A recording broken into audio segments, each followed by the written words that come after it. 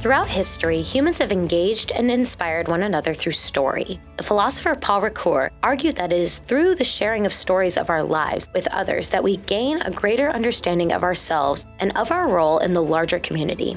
Alasdair MacIntyre, another philosopher, wrote, I can only answer the question, What am I to do? if I can answer the prior question, Of what story or stories do I find myself a part? This is why storytelling and public narrative are important skills of interfaith leadership. Storytelling can help us build relationships in spite of differences. Listening to stories can help you learn something about another person's religious tradition, as well as something about them as a person. That lays the foundation for a deeper relationship. This makes storytelling a powerful way to create safe, manageable, and welcoming spaces for interfaith engagement. Interfaith leaders use stories to share their vision of pluralism and interfaith cooperation. Compelling stories can then be transformed into what we call public narratives, which articulate not only a personal story, but a shared vision for the future. Stories and public narratives can draw people in and convince them to join you in your efforts. One of the most important stories an interfaith leader can learn to tell is how they orient around religion and how that orientation affects their identity in other ways. In the United States, we rarely discuss our religious orientation outside of religious communities. As a result, many of us have never had a serious conversation about our own religious or non religious identity. Learning to articulate your own religious orientation will help you to create a space for others to think about and articulate how they orient around religion as well. Crafting compelling stories can be difficult. Consider breaking each story down into three components challenge, choice, and outcome.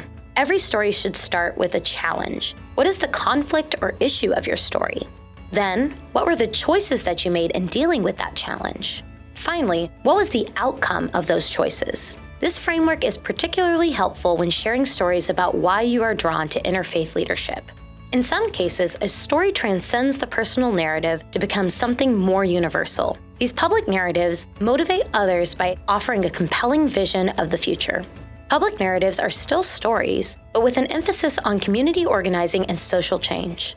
Marshall Ganz of Harvard University, a veteran of the civil rights movement, identifies three types of public narratives that effective leaders must master in order to motivate others to join the cause. These are the stories of self, us, and now.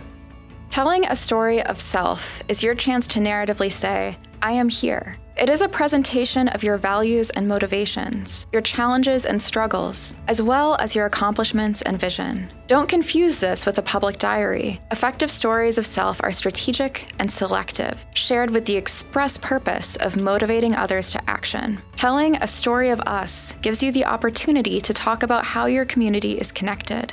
These are stories about all of the things we share values and experiences, hopes and fears, a history, and the future we hope for. These stories build a sense of us by articulating a common purpose, united vision, and communal responsibility. The third type of story is the story of now. These stories illuminate the gap between the community's shared values and the present reality, emphasizing what Ganz calls the fierce urgency of now. These are stories articulating why today is the day we start making a change toward the world we want to see, why we can't wait any longer. Try sharing your own stories. Start with your story of self, identifying your own values and vision. What specific experiences or encounters have led you to where you are today?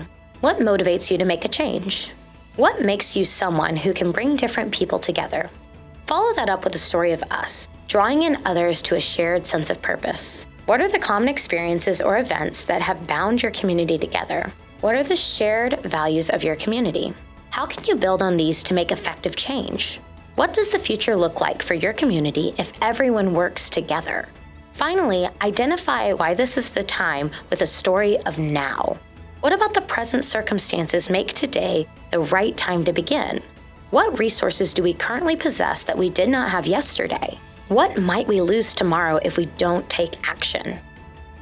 Using this three story structure, you will be able to identify your own inspiration and inspire others to take action with you.